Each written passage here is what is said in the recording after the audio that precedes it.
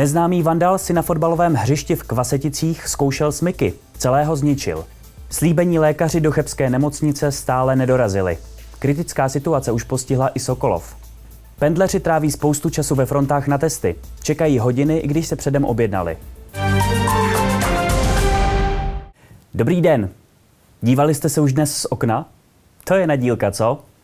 Skoro se zdá, že sníh objednala vláda, aby to byl přesně na Vánoce. V našem kraji se toho ale samozřejmě událo víc, než že nasněžilo. Tak se na to pojďme společně podívat.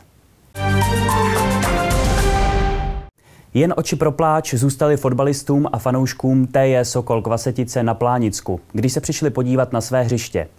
Zatím neznámý vandal si z jejich pažitu udělal poligon, na kterém zkoušel jízdu řízeným smykem. Škoda, kterou způsobil, je pro malý vesnický klub velmi vysoká. Fotbalisté by přivítali, kdyby se vyník přihlásil a pomohl jim hřiště obnovit. Vytlačené koleje, vytrhaná tráva, tak vypadá hřiště Sokola Kvasetice po nájezdu Vandala, který si z něj udělal poligon a zkoušel na něm jízdu s mykem. Zřejmě mu nedošlo, jak citlivě zasáhne zdejší fotbalisty a jejich fanoušky. Je to nehezký, prostě toto udělal člověk, který buď byl bez stavu bez tíže, nebo nějakým jiným způsobem načatý, jak bych měl říct, alkohol nebo něco jiného. Špatný už jenom tím, že na vesnici lidi mají druh zábavy hodně málo a, a kdo to udělal, je to dost na pokraji, je to blbec. Jezdil tále, tam je to tuhý, tále vzadu.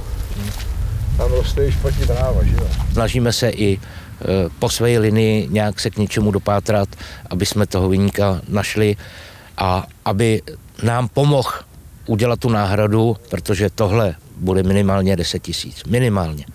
Než to dáme dohromady, uvalcovat, zbránovat. No, je to těžký. Když vidíte, že tady 40 let hrajete a pak přijdete, tak se vám chce brečet. Vyníka se zatím nepodařilo zjistit a tak se fotbalisté obrátili na policisty. Policisté z úvodního oddělení v Plánici šetří ujedené protiprávní jednání. Bohužel smolné je na tom to, že to bylo v době zákazu vycházení, pravděpodobně bylo to v noci a hlavně bylo to v době nouzového stavu, což je na tom velice smutný. Kdyby se vyník fotbalistům sám přiznal a projevil snahu o nápravu, fotbalisté by se prý na policisty neobrátili. To, co udělal, to asi přehnal. Takže kdyby se přiznal a upravil to nebo nějakým způsobem se domluvil se zdejším Sokolem to dát dokupy, tak bylo by to jedině dobře. Kdyby se někdo aspoň přiznal a pomohl nám to dát dohromady. Pro nás to budou velký následky, protože ty peníze dneska pro vesnické oddíly nejsou. Fotbalisté ani neví, jestli se jim podaří na svém hřišti zahájit další sezónu. Miroslav Sedláček, televize ZAK. Lékaři, které při čtvrteční návštěvě Chebské nemocnice přislíbil ministr zdravotnictví Jan Blatný, zatím stále nedorazili. Lékařská zařízení v Chebu a v Karlových Varech se dočkala alespoň několika zdravotních sester, které nastoupily na základě pracovní povinnosti. Kritická situace v lékařských zařízeních v Karlovarském kraji ale trvá. Stejně přetížená jako v Chebu je už i nemocnice v Sokolově. Na území kraje navíc hygienici registrovali více než 30 případů britské mutace koronaviru. Na sedm let poslal soud za mříže recidivistu z Horšic na jihu Plzeňska. Martin Tolar před rokem vnikl v Plzni na klatovské třídě do vozu, který stál na křižovatce na červenou. Vyhodil z něj řidičku s dítětem a ujel. Muž má v trestním rejstříku více než desítku záznamů a žije částečně jako bezdomovec nebo přespává u známých. Naposledy vydržel na svobodě jen půl roku. Ozbrojená trojice mladíků napadla muže. K incidentu došlo 3. února nedaleko obchodního domu Baumax na Doubravce. Policie podezřelé zadržela o dvě hodiny později v autě v Černické ulici. Kromě expanzní pistole, teleskopického obušku, boxeru a pepřového spreje u sebe mladíci ve věku okolo 19 let ukrývali i sáčky s pervitinem. Podezřelý účast na útoku ale odmítají a zatím se nepřihlásil hlásil napadený muž. Policie proto žádá případné svědky a napadeného, aby se obrátili na policii. Nehoda kamionu v noci z pondělí na úterý před půlnocí uzavřela dálnici D5 ve směru z Plzně na Rozvadov. Došlo k ní na 123. kilometru mezi Benešovicemi a Borem. Kamion skončil napříč dálnicí a blokoval celý jízdní směr. Nehoda se obešla bez zranění. Plzeňský kraj zřídil pro pendlery nové mobilní testovací místo u obecního úřadu v Rozvadově. Otevřelo se v neděli a hned první den ho využili čtyřistovky lidí. Pro Čechy, kteří dojíždějí za prací za hranice, je to další pomoc. Testy jim ale i tak stále komplikují život. Více se dozvíte v reportáži Míše Adámkové.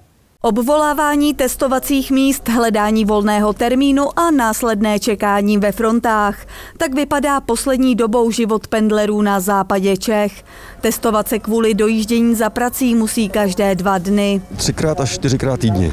Komplikace je to hlavně časová protože jednak za, zamluvit si včas test někde, a pak záleží, jak dlouho tam člověk čeká. No. Lubomír Janča Stachová musí občas zajet i do fakultní nemocnice v Plzni.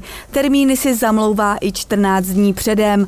I tak ho ale většinou čekání nemine. Teď jedu z Stachova, kde jsem stál přes dvě hodiny a byl jsem objednán na půl jednou, teď je po jedné hodině a počítal bych tak ještě hodinu a půl bych tam stál. Pendler proto využil nově otevřené mobilní testovací místo u obecního úřadu v Rozvadově. Je otevřeno od neděle od 8 hodin do 18 hodin a pondělí od 5 hodin od rána do 15 hodin.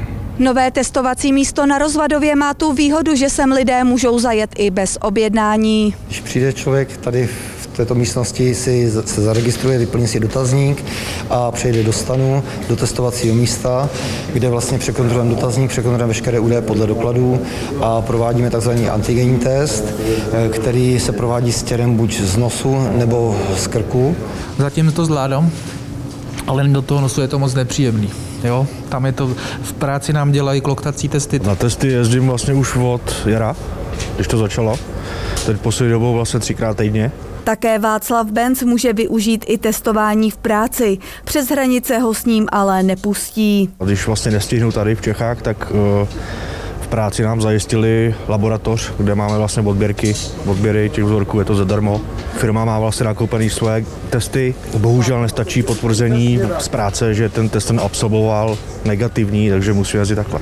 Jak dlouho komplikace kvůli práci za hranicemi ještě potrvají, nikdo neví. Koronavirová situace v českém příhraničí každopádně zůstává kritická. Nejhorší je nákaza v Karlovarském kraji. Ze západu Čech Michaela Adámková, televize ZÁK. Jeden rok, tři ministři zdravotnictví. Jan Blatný vede ostře sledovaný rezort teprve od října minulého roku. Už teď se ale spekuluje, jestli ho ve funkci někdo nenahradí. Sáskové kanceláře dokonce vypisují kurzy, kde si lidé vsázejí, jak dlouho vytrvá. Na to, jak se Blatnému ve funkci ministra zdravotnictví daří, jsme se zeptali starostů plzeňských městských obvodů. Já si myslím, že pan ministr Blatný bohužel zapadl do té vlády, což nemyslím nějak pozitivně. Především se mu nedaří vysvětlovat ty kroky, které jsou obdy zmatené a myslím, že se mu nedaří. Za mě pan ministr Blatný eh, odborník, eh, nicméně strašně odvážný muž, protože mm, vzít si zdravotnictví není jednoduché ani v normální době, natož pak dneska. A e, není politik, takže mm, třeba ta komunikace by lepší asi být mohla. Ale víte, za mě je strašně jednoduchý kritizovat a strašně těžký tu odpovědnost převzít. Eh, když si vezmu situaci, třeba když jsme před Vánocema povolovali vánoční trhy, tak eh, ve mně byla strašně malinká dušička, protože eh, mi pak měsíc chodili e-maily typu obětoval jste zdravotníky, nakazil jste moře lidí eh, tím, že se trhy otevřely. Na druhou stranu eh, bylo potřeba třeba před těma Vánocema si skutečně prostě tu atmosféru zkrášlit. Takže za mě často ukáže, jestli to rozhodnutí bylo správné, nebylo správné a myslím si, že takto čas ukáže i ty rozhodnutí pana ministra Blatného. Já si myslím, že zvlášť v této době, každý minister zdravotnictví, které vlastně od, který tam vlastně od začátku vypuknutí té pandemie byl, dělal všechno, co je v jeho silách.